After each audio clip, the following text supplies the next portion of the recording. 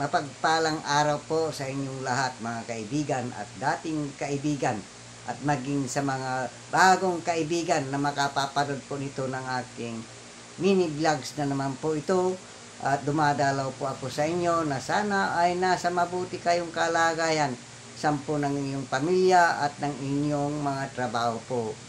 Na ako po ay magbabagi po ito ng mga salita at aral mula po sa banal na kasulatan. Na ating pagbulay-bulayan po sa araw na ito po mga kaibigan na magsilbing gabay po natin sa ating pamumuhay. Ano po?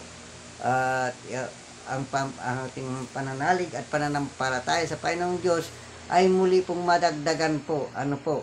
At dito mapatutunghayan po natin ang aking babagi po kung saan po pa tayo panig panig po ba tayo kay sa Panginoong Diyos o hindi po. Ano po, ito po ay may title po na Knowledge versus Wisdom po. Ano po, ito na sana ay samahan po tayo ng banal na Espiritu ng Panginoong Diyos upang madali po nating maunawaan ang mga bagay na napakahirap pong intindihin na kung minsan ay isang talata po ay marami pong mga verses po na makukot po natin mula po sa banal na kasulatan, kasulatan po. At dito po tayo sa John 15 verse 5 up to 10 po. Ano po, na sana ay nandyan po kayo at maunawaan po natin at samaan po tayo ng banal na Espiritu ng Panginoong Diyos at ibabasa ko po. Ano po? Dito po sa John chapter 15 verse 5 up to 10 po. Sabi niya po dito, ako ang puno ng ubas, kayo ang mga sanga, ang, manat, ang nanatili sa akin at ito'y sa kanya, at siyang mag, magbubunga ng marami sapagkat kung kayo hiwalay sa akin, ay wala kayong magagawa. Sa verse 6, kung ang, si, ang sino man ay hindi manatili sa akin, siya itatapon katulad ng sanga at matutuyo at sila'y titipunin at ihagis sa apoy at masusunog. Verse 7, Kung kayo'y manatili sa akin at ang mga salita ko'y manatili sa inyo, hingin ninyo ang anumang inyong nais at ito'y gagawin para sa inyo. Verse 8, Sa papagitan nito'y naluluwalhati ang aking ama na kayo'y magbunga ng marami maging mga alagad ko. Verse 9, Kung papaanong mina- minahal ako ng ama at ay gayon din naman minamahal ko kayo, manatili kayo sa akin, pagmamahal. Verse 10, Kung tinutupad ninyo ang aking mga utos, ay manatili kayo sa akin pag-ibig gaya ng aking pagtupad sa mga utos ng aking ama at ako'y manatili sa kanyang pag-ibig. Purihin po ang Panginoong Diyos na buhay sa kanyang mga talata at salita po. Mga kapatid, naunawaan po ba natin ang mga salita ng, ng Panginoong Diyos? Ano po? Na, na kung minsan ano po na pinagbabawalang bahala po natin ito ano po so na kung tayo po ihiwalay sa kanya wala po tayong magagawa. Totoo totoo ba ito o hindi? Ano po? Makaramihan po sa atin mga kaibigan ay laging busy po sa trabaho laging abala sa kanyang mga pangkabuhayan. Ang Panginoong Diyos ay nakakaligtan na po natin na sumamba at magpuri sa kanyang banal na salita o ang kanyang mga mga sakripisyo po sa niya sa atin ano po mga kaibigan. At dito sila sa kung tayo po hiwalay sa kanya, kung makamtam kung makamtam man natin lahat ang mga kayamanan dito sa mundo, kung mawawala naman ang buhay natin, ano po, saka lang ba tayo lalapit kung tayo po ay mayroon ng karamdaman na sinasabi po niya dito, ay dito sa Matthew chapter 16 verse 25 to 26 titignan po natin mga kapatid. At saglit lamang po at bubuklatin ko po, kung nasaan po yon De, dahil dito ay mapapatunayan po natin dito po sa Matthew chapter 24 to 26 po. Makamtaman natin lahat ng bagay dito sa mundo kung ang buhay naman natin ay nawawala po, ano po, hindi pa tayo po ay isusuka ng Panginoong Diyos. Ano po? Dito, sa Matthew chapter 16 verse 25, sapagkat ang sino man mag, nag, mag, nagnagnais na magligtas ng kanyang buhay, ay mawawalan ito. Ngunit ang sino man mawalan ng kanyang buhay dahil sa akin, ay makakatagpo nito. Verse 26, sapagkat ano ang mapakinabang ng tao kung makamtam niya ang buong sanlibutan, ngunit mawawala naman ang kanyang buhay, o ano ang ibibigay ng tao? Katumbas ng kanyang buhay. Purihin po ang Panginoong Diyos na buhay. At tayo po ay sinab, pinaalalahanan po ng Panginoong Hesus na tayo po ay sa mga kanyang salita ay nagpaalala po na reminder na kung minsan ay na, naakay po tayo ng ating mga kaibigan o, o kapatid o mga miyembro ng ating pamilya na dumalo sa gawain ay pinagbabawalang bah- bahala po natin ang mga ito na kung minsan sasabay, sasabihin ng iba ay isa ang ating patutunguhan. Lahat po ay pupunta tayo sa impyerno. Ano po? Magkaiba po ito sa mga bagay na ito at ito po isasagutin naman po na Ecclesiastes. Ano po? Excuse po. Sa, ito po yung mababasa po natin sa Ecclesiastes chapter 3 verse 19 to 20. Ano po, ang tao at ang hayop ay halos magkapareho po. Sa Ezekiel chapter 3, 3.19 po, titingnan po natin. Sa, dito ang sagot ni Ezekiel, isang propeta, ano po, dito sa dito sa 19 sa chapter 3 verse 19 up to 20. Ano po? sapagkat ang kapalaran ng mga anak ng mga tao at ang kapalaran ng mga hayop ay magkatulad kung paanong namamatay ang hayop, mamamatay din ang tao. Silang, silang lahat ay may isang hininga, ang tao ay walang kalamangan sa mga hayop. At dito sa verse 20, lahat ay tutungo sa isang dako, lahat ay buhat sa labok, at lahat ay muling babalik sa labok. Tawa, purihin po ang Panginoon. Po ang paliwanag ni Propitang Ezekiel. Ano po? Dapat dito na lamang natutunghayan na natin po yung mga na, na ililibing na walang pera ay nailili, naililibing po sila sa public cemetery. Ano po di po ba? At doon naman po sa mayroong kaya, ay doon po sila na nakalibing sa Memorial Park. Ano po? Pero ang kaluluwa natin, kumusta naman po? Saan kaya patutungo? Ano po, gaya ng kanyang sinabi, dito sa verse 7, ano po, tigbalikan po natin sa verse 7. Di, titi, tayo po ay puputulin at ipunin at susunugin. Tama po ba? Tama po ba ang pagkarinig po ninyo? Dito sa 15, dahil sa verse 7, dito, kung ang sino man ay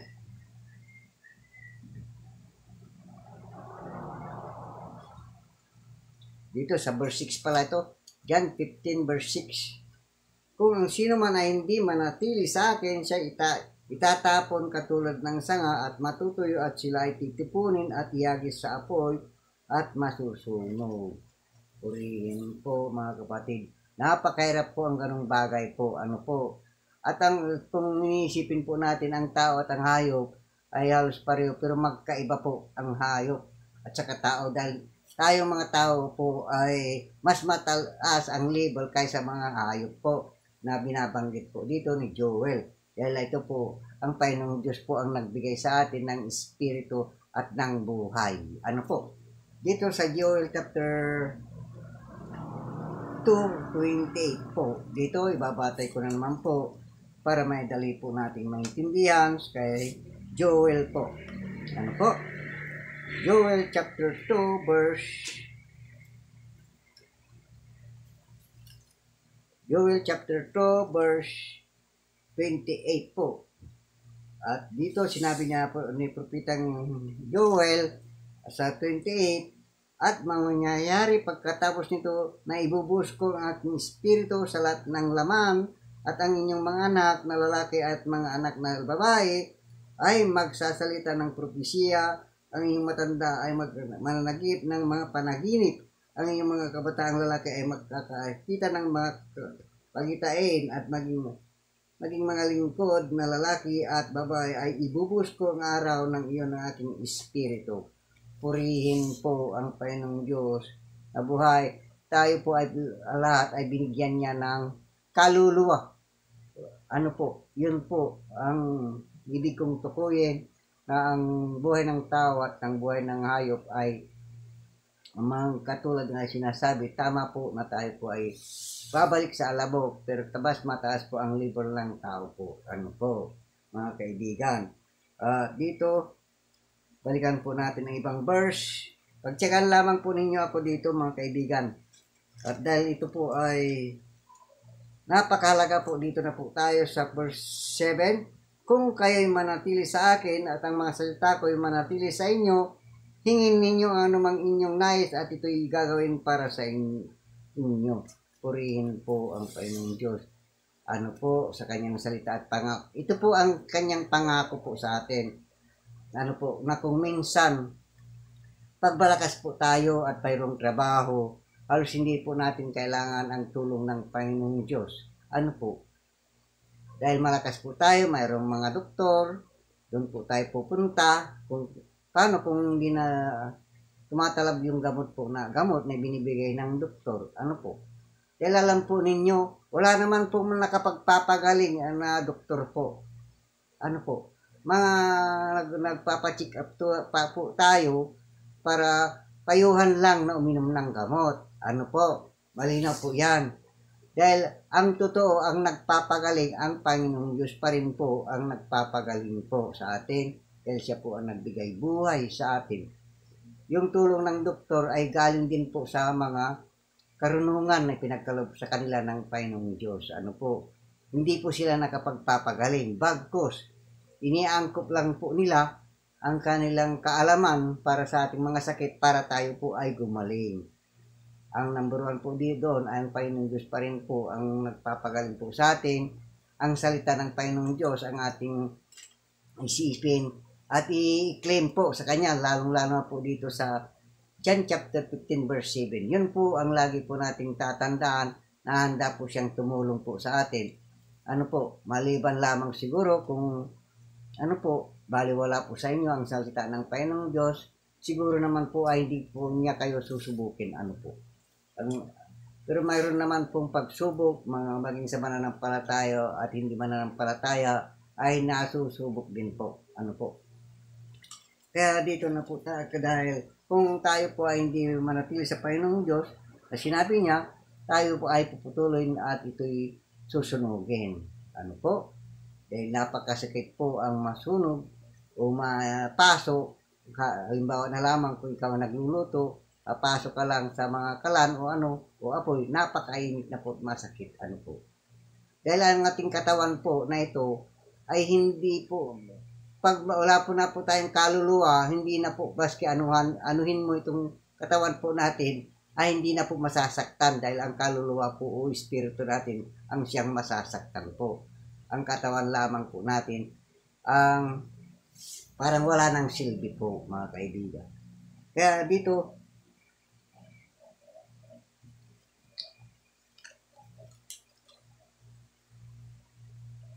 Kaya po, napakahirap po kung tayo po ay isusuka ng Panginoong Diyos. Ano po? Dahil kung wala po tayo sa kanyang feeling, sa Panginoong Diyos, tingnan po, balikan po natin dito sa Matthew chapter 10, verse 32, 33 po.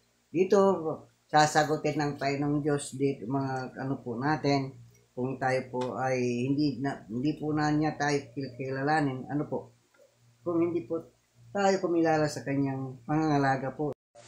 Hello, andyan pa po ba kayo?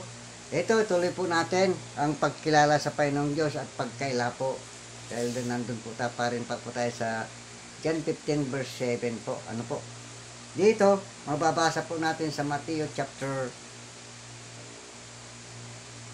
10 verse 32 to 33 po na kung tatanggihan po natin ang Panginoong Diyos na sumunod ito po ang kanyang kasagutan po. Ano po?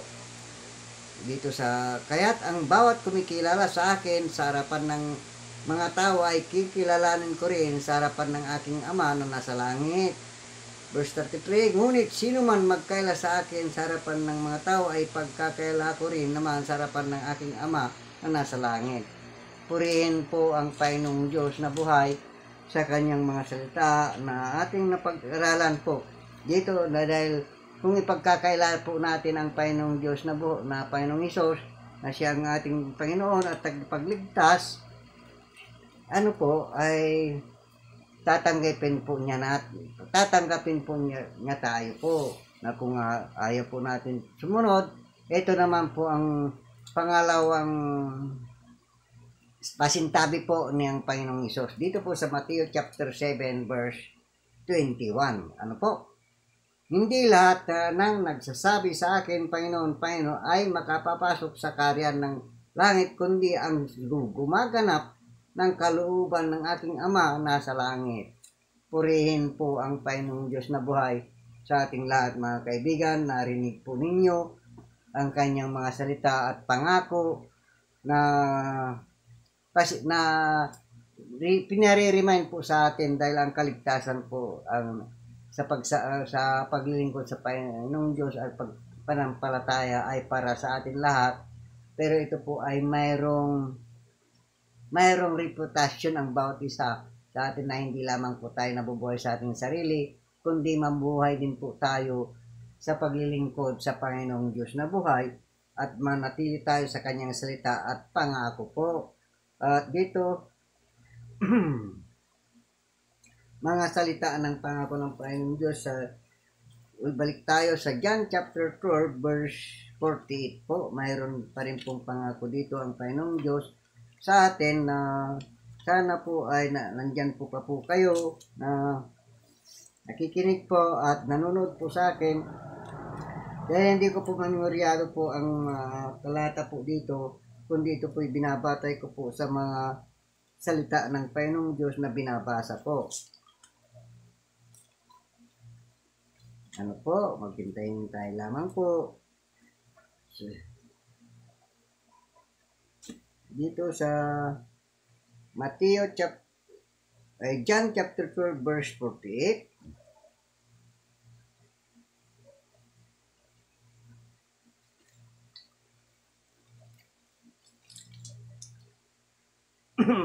sabi niya dito, ang may warning pa rin po dito, ang warning.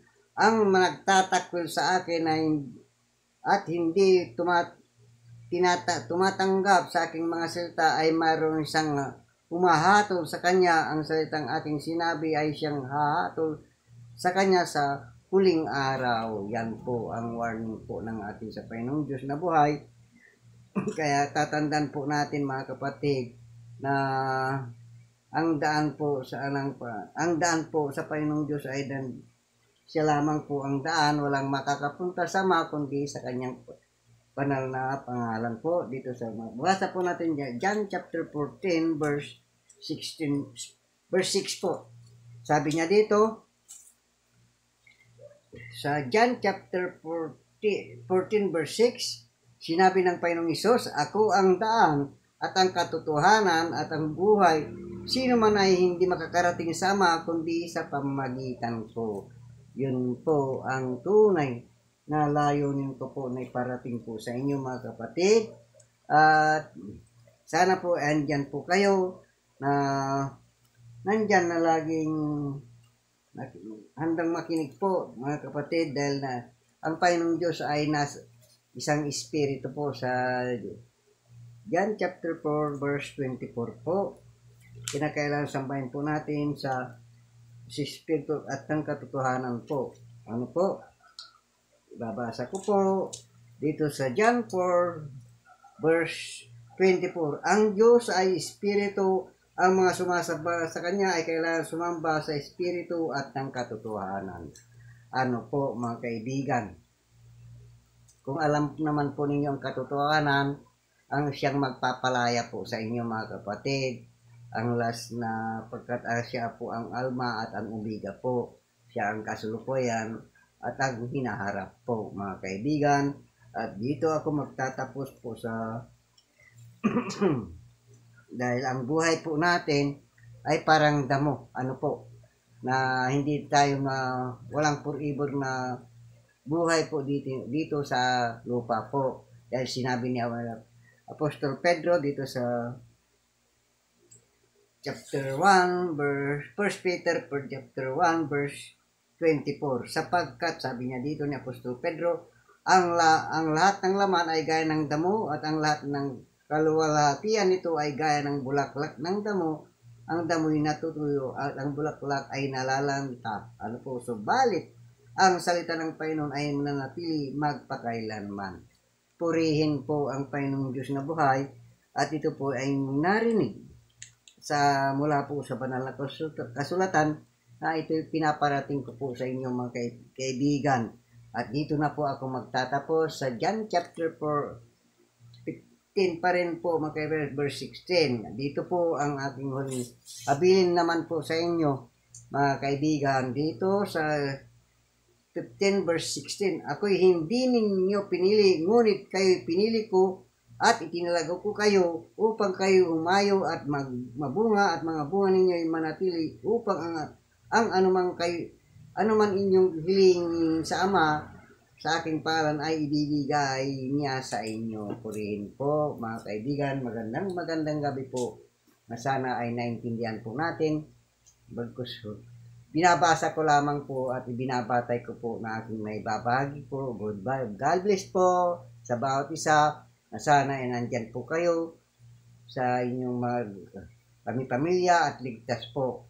Dahil paggabi na po o kaya ay hapon kung saang banda po kayo nanonood ngayon. Salamat sa inyong suporta at gabay sa ganitong katulad ko na kaibigan po ninyo. Bye-bye po. God bless po sa lahat.